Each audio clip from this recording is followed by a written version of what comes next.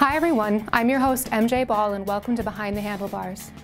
As motorcycle sales continue to fall, Harley-Davidson has announced that the company is closing their Kansas City, Missouri plant and will move all operations to York, Pennsylvania by July of 2019.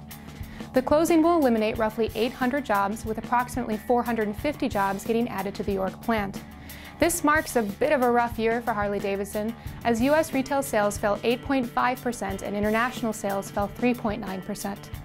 President and CEO Matt Levatich said that the decision to consolidate their final assembly plant was made after careful consideration, and that the Kansas City assembly will leave a legacy of safety, quality, collaboration, and manufacturing leadership. I'm MJ Ball, and this has been Behind the Handlebars.